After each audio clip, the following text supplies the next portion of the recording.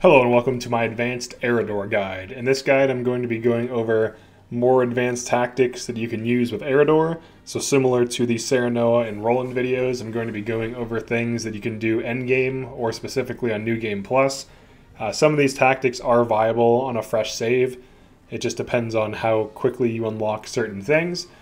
Uh, but to begin, uh, what does Erador do? Let's start here. Um, he is a tank and he's also a shutdown. So he will not be dealing very much damage, generally speaking. He can deal some chip damage on counterattacking physical, but his main use is to deny enemies' abilities and to ball enemies up around him so that he, they can be then nuked by like a Corentin, a Maxwell, you know, a mage, you know, any unit, Roland, He's really good at balling enemies up and distracting them. This buys you time. Uh, this creates opportunities for other units. This also relieves pressure from your team by putting pressure on him. Uh, so what are some good items for Erador? So let's start there. So magic defense items are pretty good on him. Uh, if you expect he might be dying, you can always throw res earring. Uh, if you beat the game on all routes, you do eventually get two res earrings. So res earring can be good on him. In this case, I'm just running magic defense. You can run a speed item in magic defense. That's fine. Uh, some people like to run keep him at low speed so that when he uses king shield, it lasts longer. That's actually a completely viable thing. Um, it will last longer and that he'll be invincible longer. But as soon as the enemies consume their single turn of being furied, um, they will go off and do whatever. But I would say magic defense is good. Res is good. If you're going to run speed, I would just run a single speed bracelet um, just to put him at 27 speed. The idea, if you're running him, like running speed on him, is that he should be provoking every turn and not necessarily using King Shield. So for a speed build, I would just put like speed bracelet on him and res earring so that that way he has uh, some breathing room. Otherwise, if he's going to be King Shield spamming, I would say magic defense uh, uh, you can run res earring as well, but if he's getting batteried, he shouldn't need it. But just like magic defense bracelet is fine, uh, or whatever you want to run on him. You can run movement bangle on him too. This actually can be good. Uh, so if you don't plan on running like Roland or something, movement bangle on Erador actually is pretty good. So like if we wanted him to be a very aggressive tank, um, you can also run endurance earring. Something like this is good. Uh, hold on, let me take it from Serenoa. He's never really in danger. So this is actually pretty good on Erador. If he's going to be main tanking for you, uh, his main problem is mobility. Uh, Res Earring and, mo and Movement Bangle are very good. So, And you can run the, what is it? The Endurance Earring if you want. This will make him take quarter damage below 50%. So instead of taking half damage from Desperate Defense, he'll take half damage from Desperate Defense and another half damage from uh, Endurance Earring, putting him at quarter damage. So uh, res earring and endurance earring can make him extremely tanky, uh, but movement bangle is really good, and I'll show why. He's one of the best characters to throw on this if you do not plan on running Roland, or if you're running Roland without a rush build. Putting movement bangle on Erador will drastically increase his effectiveness because one of his biggest downsides is mobility. So to use him effectively, so let's let's start the battle. To use him effectively, he needs either movement bangle he needs Benedict um, movement increase. He needs to sprint. Um, he needs teleported with Lightwave, teleported with Quahaug, or thrown with Hossabara. So all of these are completely viable things. So the main thing for Erador is you want to improve his positioning. So if you do run Quahaug, I don't, but if you do, this is one of the best characters to run with him. Because what he can do is he can teleport Erador into the fray, which is useful. Like, this almost seems suicidal, but you'll see that it's totally fine. So we can have, we can do this. We could do something. Oops. I could even in tandem him. Uh, I'll probably do that. Let's just in tandem him. We'll use in tandem. We'll dragon shield these just for the hell of it. So Erador is not going to be killing things. He's not going to be doing like big damage. But what he, what he will be doing is stuff like this, where he provokes or king shields. So you can see here I can fury these. Uh, I should fury both of these to be honest, just based on like 86 is pretty high. So because these mages are furied, these two physical will not be able to kill him. He has half damage below half health um, in the form of desperate defense. and he also has 74 physical defense. He also has Res Earring, so they have no chance in hell of killing him. He's just completely shut down these two mages for two turns, and essentially, as long as you can solve his issue of mobility, whether that be Light Wave, whether that be Hossabara Catapult, or Quahaug Teleport, you can throw him into enemy backlines and just completely get rid of the thing that's going to kill him, which are casters. And then as long as he has, you know, movement or res earring or some kind of tank, he'll be able to tank the physical, and you'll be he'll be fine. So he can just straight up be thrown and, or teleported and just shut down things immediately. Um, and also you can battery him for King Shield. Uh, okay, so let's just have Hossabara move up. Well, actually she'll die, so we'll have her move up here for now. And then Geela can just move here. So the main thing you want to do with him is have him be thrown or teleported and like shut things down with Fury. And what he can do that's cool is he can actually bring these enemies back.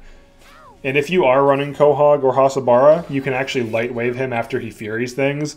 And this will force the enemies to chase him wherever he's at on the map. So you can light wave him back to your team. So you can see here, these guys are just going to use book attacks on him and do like literally nothing. so he's basically completely fine over there. Um, for this, I don't really care. I'll just do this, whatever. Hit a guy for some damage and then run her back. We're not really focusing on these other units. This is all about Erador in this case. Alright, so we got Quahaug. So he can do whatever he wants to, essentially. Uh, he'll just run back, it doesn't matter. Cool heads shall prevail. Just continue to run back. Let us try out their weakness. Just trying to get it to be Erador's turn again. He is a low speed unit in general, so he doesn't go often. Okay, so now that we've Furied some things, we can Fury them again. The only unfortunate thing is the turn order is like so far back. So it's almost like I have to Fury them, and then like someone else can Light Wave, but you can see there he's able to just like completely shut down enemy units and tank them like nothing. Like most of these things, they're not going to really put a dent in him. He'll, he won't even get to half health from all that spam.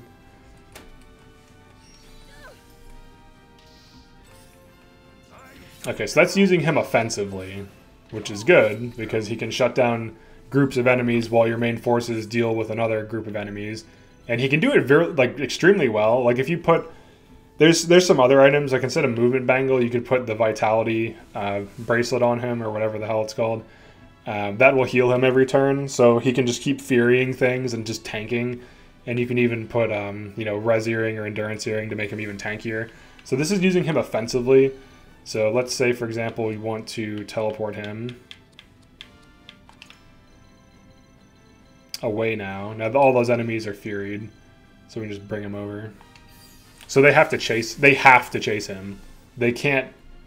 They can't just decide not to. They absolutely have to which is kind of cool. Uh, well, some of these are to die, I don't care. We're doing this video for Erador. I'll show defensive strategies in a second. I might even do it on this map too. Let's do this. We'll be very brave. We were brave. Alright. Alright, come on. I like how Quahaug takes two turns before Erador gets one in. That's funny. Because his speed is so high. Alright, so these are Furied, which is good. He can provoke every turn. Even if he's not using King Shield, he can just spam Fury, and it's good. And here's a perfect example of why he's a good unit. All these enemies, all of them are now Furied. Even if he didn't get all of them, he'd get a lot of them. But like just the just his ability to grab everything's attention and pull it off your squishy units in of itself is ridiculously powerful. Right now he has Desperate Defense, he's taking half damage. He's able to tank. He also has res. So just res and desperate defense are enough to make him tanky. That dude missed. That's funny. Look at that. It's taking like no damage. He's a really good unit. He's very good.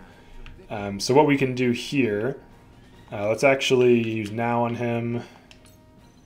So we feared a bunch of things, which is good. And one of the big gimmicks with Erador is Fury is great, but shutting things down is better. So you might be wondering, what do I mean by that? So uh, we might as well use Sprint, I guess. We'll just use Sprint. We already have Fury maintained on some things. So if he runs all the way back here, The only thing that can hit him are those archers because of the distance gap. So like if things are physically in the way and enemies can't physically run to him, they just can't hit him. So you can see here, like almost nothing can hit him. Potentially nothing can hit him. Um, well, those archers can, but you get the idea. But if you can body block, you will literally prevent enemies from being able to get to him. So even if they're furied, it does not matter. Uh, they will not be able to touch him. So the big gimmick for him is to fury enemies and then run behind a group of allies. And what that does, is it prevents that the enemies uh, from getting to him, and therefore shuts them down completely. So not only are they furied and like trying to focus on him, but they can't physically get to him, so they won't. Like you can see here, that's trying to route to him. Obviously, there's some mages rolling up. They're about to nuke us, and we're not really trying to kill anything. We're just kind of goofing off, but uh, you get the idea. Um, all right, so one thing we can do here, she'll just heal herself. It's fine. She can't die. That's like the, the big thing in this mission. And he can just keep furying things too. He can just he can spam provoke every single turn. So if enemies ball up, that's huge. I'm gonna see heal Geela using Time Child's shenanigans. Uh, we will do this. Or not. I guess we'll haste Erador, whatever. So his big two things are being teleported into enemies and furying them, and also furying things defensively, and then leading them to your allies. That's those are like his big gimmicks. So those are the those are the two most useful ways of running him. Uh, King Shield spam is really good with the battery. You might have noticed I'm not running a battery, like seemingly on purpose for this uh, thing. Uh, you can always battle cry too, so we'll battle cry him. And we can do something like um, King Shield, pulling those in for sure, wasting some of their turns. A lot of these enemies are far away too. So we gotta be somewhat careful here. We can start trying to kill these. Just for the hell of it, really. I could always stop time. I could always break the game and stop time. Um, Alright, this unit's weird. So, but that's that's that's like the main use case, honestly, is just like furying things by and shutting them down using King Shield correctly. Uh, you can get away with spamming provoke as long as they don't have like a ton of things that can combo attack him and, with physical if he has res on him, whether from Geela or from the res earring, he can be pretty safe to just like push out on his own because you have that extra health buffer because you have to consider desperate defenses will trigger twice before he actually dies when he's below half for the first life and then for the second. And then if he has res earring with Geela res, he's basically unkillable it'll take an extreme amount of damage and pressure for him to lose three lives and go through three instances of desperate defense. So he's he's definitely a candidate for res spam. Uh, you can literally just you can if you're not running a battery at all, you can just res spam. Just put res on him, have res earring, just have him spam provoke the entire match, have him catch heals uh, as needed. The funny thing too is Quahaug's turn back time can get res back on him, which is really stupid, but it is a thing. And you can also turn back Time King Shield to get the invincibility on him for a whole turn, which is also really weird. Um, so that's a thing. So you can't unknow that now. Uh, so there you go. Uh, okay, so let's just do this. Let's try to kill some of these, I guess. Get rid of some of these chumps. They're going to cast on him because he has low magic defense. So even if he's just invincible, even like enemies don't care and they will cast on him. So like enemy mages will will prioritize him as a target because his low magic defense, and they don't recognize him being his like they don't recognize his invincibility, which is hilarious. And the big upside of King Shield is as he's getting hit, he takes no damage, and enemies literally just get punished. Oh, we lost for the the if Frederica dies, you lose this one for whatever reason. Um, we don't care about defending her. We're not even running full units. Uh, we just care about Erador in this video. So I'll go over the rest of his abilities too, because some of them are worth noting. Um, okay, so we went over teleporting him into position. If you don't want to use Quahaug or Hossabara, Light Wave is perfectly fine. I'll show that in a second. Uh, Provoke is one of his best abilities. against same level enemies, 75% chance to trigger. You're going to be using this, you're going to be spamming this to constantly pull uh, attention away from your team onto Erador, provided he has, you know, some kind of tank. So for like example, if I want to um, get rid of this, put the bangle, the healing bangle on him, wherever it is, it should be around here. I might not be using it right now, actually. Yeah, bangle vitality. So he just gets uh, like extra health per turn. This allows him to flank because he's just always going to catch free healing on himself. And as long as he's provoking mages that can actually kill him, it'll basically prevent his death, and he'll just be able to run around like you know for free and just provoke things like a madman. Uh, sprint is pretty good for dead turns, just to give him passive five move. Uh, you do have to spend one TP to do this, so if he's with his team and there's like some time in between enemies, it's usually good to sprint and then have him catch battery so he can king shield. So sprint is really good.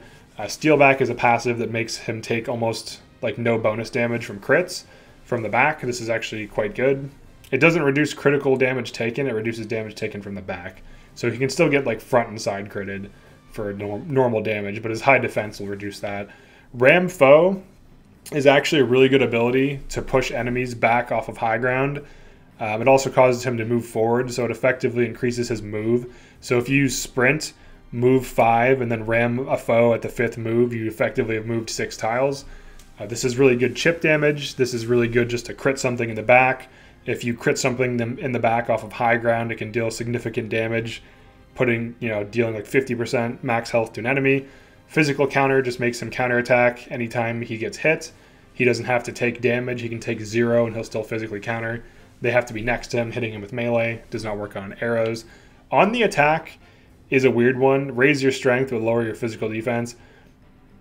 It's not really useful to do this ever. This is just like a waste of a turn in TP in general. Because like if he's wasting turns to deal more damage, it's it's usually not worth it to do this. It's it's it's not even worth running. Like you, it's on his kit, but you just don't use it. It's stupid. It doesn't really help you. Uh, Desperate Defense. This is phenomenal. You take half damage below 50, at fifty percent or below. This is this plus Res Earring makes him extremely tanky without any other help from any other units. And just with the one TP provoke, he can provoke every turn. He's extremely tanky because of Desperate Defense and Res. So this is probably like his best, close to his best build. Um, and then King Shield is insane. If you have a battery, it just constantly it guaranteed Furies for one turn. He becomes invincible for the entire turn, like until his next turn. So pretty crazy. All right, so we will we'll remove these two. So let's say you're just playing the game without those, which most people don't run Hossabara. And Quahaug, most people kind of avoid him because he's broken. So let's say you're just playing the game in an average situation and he needs mobility. What do you do? Well, I'll tell you what you do. All right, so let's use let's just use now in this case. So you just light wave him. It's really simple. Use light wave. It's the best teleport in the game. Look at how far you can go. You teleport him all the way over here. And then he can run over here and fury these.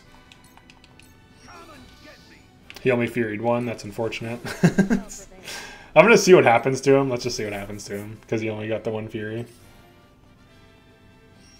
If you're going to be light waving on turn one and fury, you can always just reset until you get the fury you want. Yeah, he takes like no damage.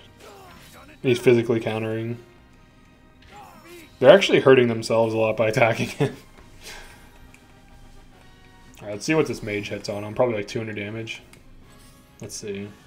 Freeze, yeah, 200. Alright, his Desperate Defense procs, but he's pretty low on HP right now.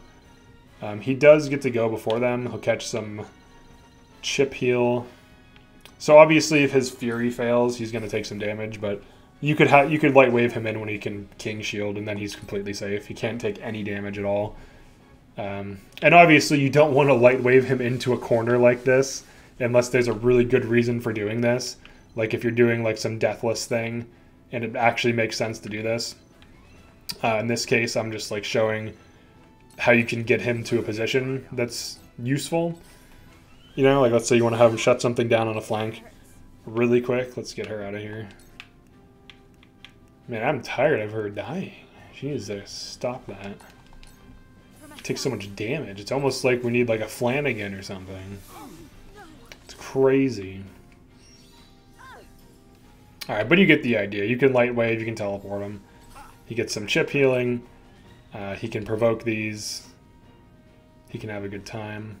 And then the other thing too is revitalize. I'm sorry, restore is cheap, so you can always restore him. He only took that much damage because he got hit with a spell. So if he provokes all of these, um, he keeps missing that mage. Unfortunate.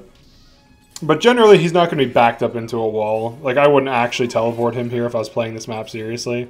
I'm just I'm just showing like him getting in into you know into position to provoke stuff. So so yeah, there's that tactic. Uh, let's uh, leave this mission now. Oh, cool. That did it for me. it just reset for me. You have fallen. All right, let's retry. Or no. Oh yeah, I think I think it won't start out right away. I think it'll um. What'll it do? It'll take us back to the thing. Pre-game. Yeah, yeah. Okay, cool. All right. So it's using him offensively, using him defensively. Um, and then, of course, if things are approaching, so let's just do one more. Just have things approach us. In this case, I will battery him. Instead of running a Julio, I'll just battle cry him to speed it up a little bit.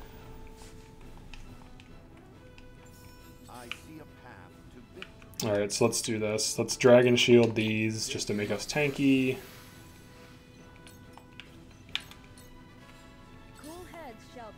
Uh, that's fine. Normally I would Medina her and then put res on Erador or something. Pretty standard stuff. Putting res on him is really good, as you might expect.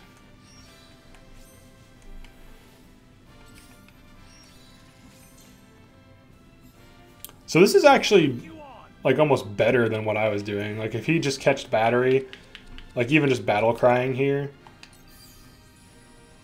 because then what you can do from here is get the guaranteed King Shield, tank the other mage, who should cast on him because it's the only target, and he has low magic defense. King Shield is really good just for wasting enemy magic, like this. This is the perfect example of why King Shield is good for wasting magic. Um, Sunfall. Let's not do that. I guess just Scorch this. And she'll just run. So the big upside of King Shield is the initial King Shield is 100% success rate. Uh, let's throw res on him just for the hell of it.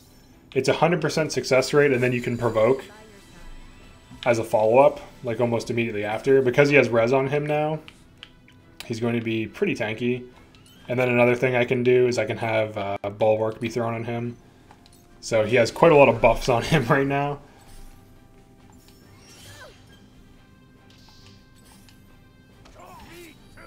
And then the other big upside of running um, a Fury spam unit like this is he can get enemy healers provoked, which is massive because it prevents them from healing. So Lionel, Milo, and Erador all fill this role in this way. Steel back. Alright, check this out. Okay. Auto revive. Alright, so look at this provoke now. We can get a lot of these. Look at that. And then the thing that's cool is we can just pull them wherever we want. So I can pull them into this corner, I can pull them over here. I can, so in this case, let's pull him over here. He still has one hit of invincibility, I believe, from Dragon's Shield. Yeah. He took almost no damage on that crit. I'm just going to keep her in here in the corner, because if she dies, we lose. Uh, cure yourself and run. We'll see how long just Erador can hold down the fort. Might as well bulwark Geela to keep her keep her afloat. Enemies love to attack Erador because when enemies on the other side, like non-provoked enemies, will tend to attack him. Because when something is on the other side of him, they'll get a follow-up attack, and enemies love to get follow-up attacks. So he has two reses right now, so even if they kill him, it won't matter at all. And it looks like he might tank it too, which is ridiculous. Let's see. I think he actually does tank it. Let's see, does he? Oh my god, he tanked that. Look at that. That's ridiculous. He still has two reses. He can provoke all these. This is the power of a single tank when used correctly. Like, it's so ridiculous. And then he can catch a heal, too. Look at this. One TP heal. Good luck killing him, man. He just keeps provoke spamming.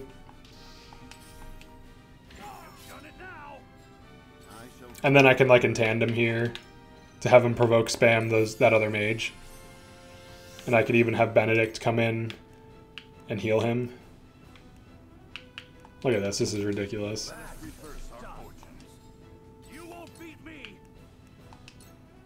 Get that mage. Yes. And then he can like move. I can like push I can push them this way. The other thing too you can do is you can start to move him towards other things that you want to provoke. So with all these reses, I feel pretty safe, like pretty comfortable just throwing him into the middle of all this. And because this is like the big upside, you can set up like huge spikes. So I didn't I I like I referenced that, but you can set up sunfalls, you can set up heavy blows, you can set up high jumps, you can set up glacial moons. Look at this. These dudes are just lining up into the AoE. They're perfectly, they're completely helping me out here. Look at this. They just want to get into there. They just want to get in the spam. They love attacking him because he looks like a vulnerable target, but he's actually not at all. Um, she probably should heal herself, but it's whatever. Alright, then Benedict. Benedict will heal her. We just want to make sure that uh, Frederica doesn't get interrupted there, which she could. So, or no, is she about to go? No, she's not. She still has a few more turns. But look at this; they're just completely crowding around him. And then the big upside is you just keep doing it. You just keep provoking. Look at this. All these are Fury except for like an Archer. And then they have to pass turns because they can't get to him. So one unit, and then they want to get as close to, as they can to him, so they'll fill out that pattern and there's a massive nuke that just killed a few of them to put a lot of them at like one shot health. Like, look at this. This is ridiculous. And then if we want to, just to add insult to injury to these enemies, um, we can just start nuking them. Geela nuke. So that's that's like a big use of Sunfall. If you have a tank just just a single tank. These are level 47 enemies, but the difference between 47 and 50 is like minuscule. Like they're like slightly more powerful. Like you can see there, it almost just one shot Frederica, so it's not like it's not like it isn't a huge difference. Like it isn't. Um, Alright, so we get Erador again. He still has two reses too, and this is with a small team with like no units, so we provoke again. Hitting pretty much everything. We can just stay in this position. They can't really do anything to him. And if I want a Sunfall again, if I had a battery and turn accelerated, I could easily get like a big Sunfall off again. These are just straight up killing themselves on him at this point. So that's what we strive for in these advanced guides, is to show you the most ridiculous things that exist in the game, how to use them, and what it looks like. So as you can see here, everyone wants a piece of Erador. Except for those guys. Those guys are gonna do some stuff. We'll kill these two. So this is a team of four units, and Erador is completely holding down all of these enemies by himself. With like minimal help from other units. Maybe a heal here and there, but passive healing, two reses. He still hasn't died yet. He still has two reses. Pretty insane unit. Literally can just spam provoke the whole time and be fine. So don't definitely don't underestimate him. Honestly, I think I put him at A tier. I think he's I think some of these units are S tier. I think more units are S tier than we realize. I just put Erador on fire. Alright, we'll do this, we'll do this. Uh, we'll provoke all these. Uh, we'll run over here. I think a lot of units actually are S tier, to be honest. Like, some of them are so good. He's just like suiciding on him. They have to attack him too. They can't not attack him. Fury forces them to attack him. They have no choice, which is hilarious as well. He can't. I mean, over time he can deal significant damage. Like he is getting a lot of chip damage off from just all the provoke spam. So like it's it's not like he can't get any damage off. He definitely can. We can kill this guy.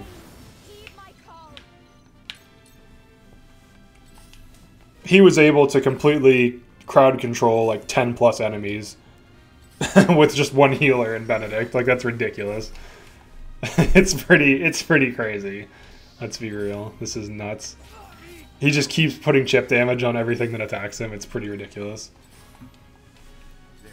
No mercy on the battlefield. All right, and then Benedict. Uh, Benedict can put tank on him. I'm hold on, What does it even do? Let's see. Physical defense, 74. Magic, 21. And then Bulwark puts him at so 74 and 21. All right, what does Bulwark even do at this level? 74 to 79. So plus five for both. That's decent. That's still decent at a high level even. Uh, what we can do here is provoke the, in this way to try to get all these. So you can see that he can hold down like enemy formations, and he doesn't even need that much healing to be honest. Like if you if you use him optimally, he's not even catching battery. He's just literally spamming provoke this whole time. These enemies are killing themselves on him, and then Frederica is just casually nuking them. So, if you were hoping to see some advanced broken strategies with the with this unit, uh, I, I think this is what I'm demonstrating. To be fair, so and then we can nuke all these casually, no big deal. Just casually nuke all the enemies. I'm pretty sure this is a difficult mission too, but like just correct use of uh, a single tank is is trivializing it. He still has two reses, too. Keep like keep that in mind. It's so funny. Um, I don't know if I wanted to. I could just have Benedict do this. Help with help contribute to some damage, Let me heal your wounds. and then the free heals, pretty huge heals too. And then yeah, he can just keep doing his thing. I mean, these he can just basically perma fury enemies. Like that's the other thing too. Like he's he's really good at pushing when he gets mobility increase. He's good at defending.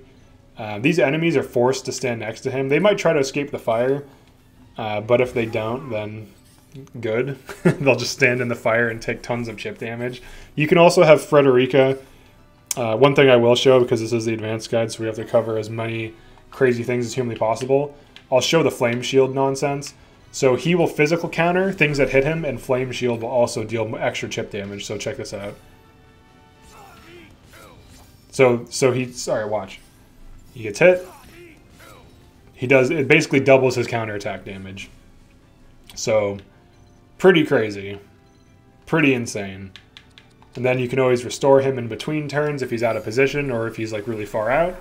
So you can light wave him into crazy positions. He can fury spam to buy you time so that your your main forces can deal with threats, and then he can always be rescued. He can heal himself every turn because once once he gets out there and furies the mages, if that's what you want him to do, as long as the mages are furied, he can even use healing items on himself and he's fine. Um, but if, if you're gonna put him near mages, I'd recommend sending like an Anna, Milo, uh, a Maxwell, a Roland with him to kill the mages that he furies, so that way they can kind of break him out and keep him safe. Because once once the mages are dead, he can just keep furying their physical, and he's very tanky. And Anna can even do things like heal him twice and be invisible and all this other crazy stuff. So pretty good, pretty insane. Uh, I don't even know. I'll just have him pass just to show this dude's gonna hurt himself. Look at this. Look at that. He just took 100 damage from attacking Erador. This is the other thing too. Like if you put fire shield on him, he's he's even he deals double damage. So yeah, and then we can just continue to provoke these enemies, and then we can even retreat too. Like if we want to get out of range of some other enemy mages, we can retreat. Those enemies that are close enough to attack us will attack us.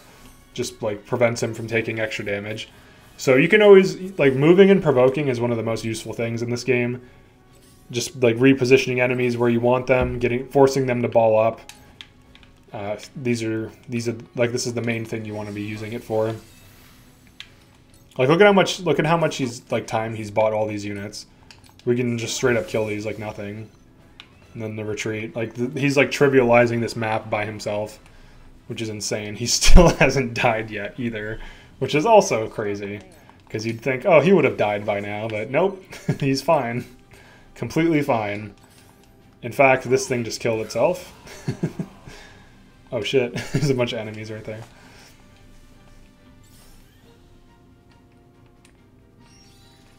So yeah, that's Erador.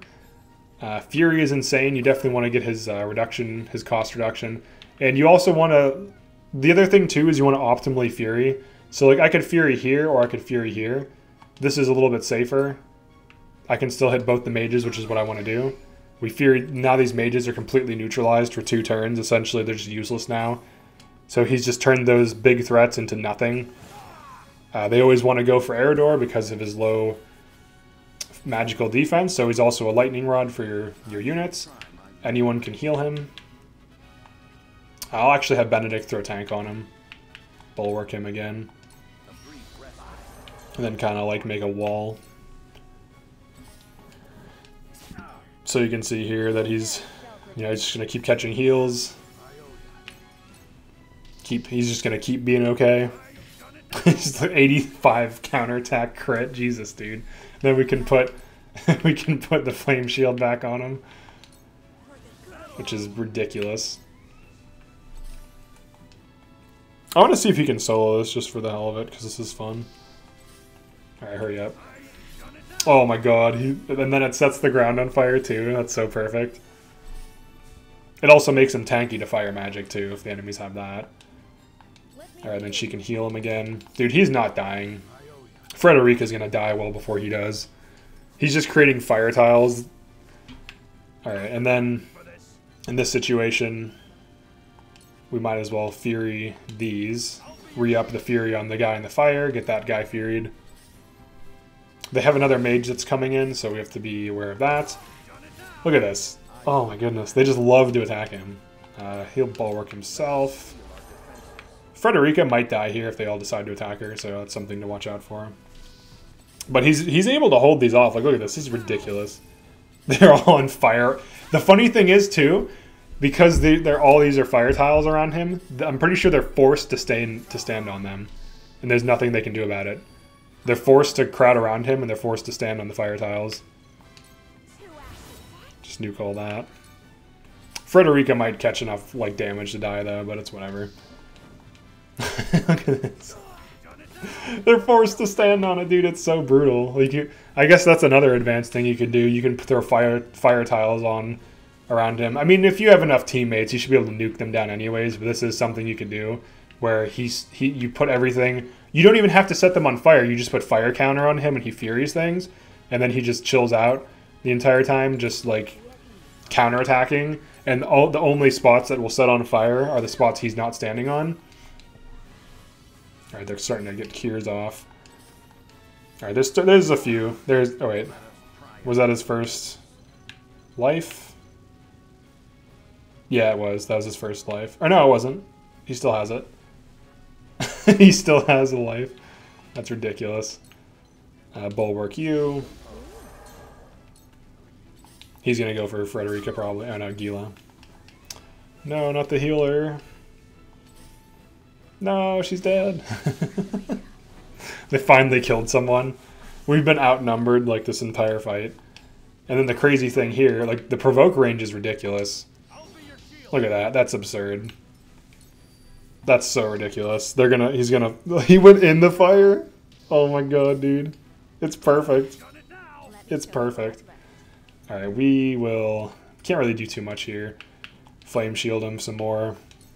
She he's actually doubling his damage because of that, so it's actually pretty pretty powerful. And enemies naturally ball up around him because they're trying to get to your other allies or to Erador. Um, Alright, I am worried about Frederica taking lethal damage. Is she bulwarked? I don't think so, right? Yeah, we'll bulwark her. it's just so stupid. This is like turning into like a three-man four man, three man situation. All right, she could she could get shot by an arrow and die. I'm just doing this as a meme at this point. There's his first death. Okay, miraculous light. There's his first death. He finally died. It just took an absurd amount of enemies to kill him, and there we go. We lost. But yeah, you can see the power of Erador. Um, that that oil thing is actually something I just discovered. Where like if you throw down a large oil jug and then Frederica puts fire shield on him and then he provokes um, that fire damage is legit. That's actually a viable way of completely killing like groups of enemies because they'll be forced to stand on fire because they want to attack him. Every time he counterattacks, he will hit them for 50 plus 50, so 100 damage. They take 50 damage a turn. That's legit.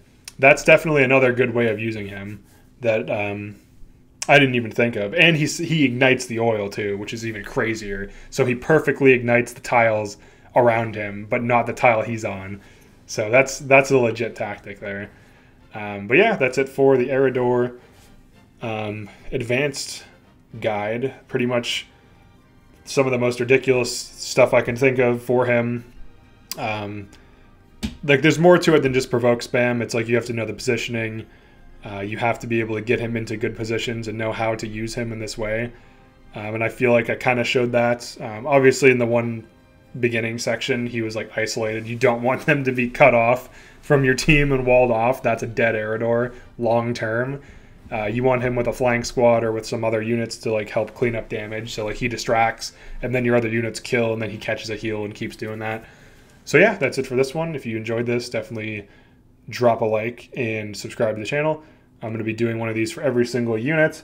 Some of the units I haven't played enough to do advanced guides, so I'm going to have to go through and beat a bunch of chapters with them. Uh, for the units that I can do advanced guides for right now, um, I could probably do one for Benedict, Anna, uh, Geela, Frederica, Hughette, maybe Rudolph. I feel like I should run him more. Uh, Milo, Julio, Corentin. Um, who else? Definitely have Laura. I've already basically. I, I could do some advanced guides for her. Medina, Maxwell, Flanagan for sure. So I, I still need to run. Like I need to run. I definitely Piccoletta. I need to run like Ezana more. I need to run Jens more. Like a lot of these, like half the cast, I need to run for like at least at least ten to fifteen more chapters before I figure out like really ridiculous strategies with them. Uh, but yeah, that's it for this one. Thanks for checking this out, and I'll see you in the next video.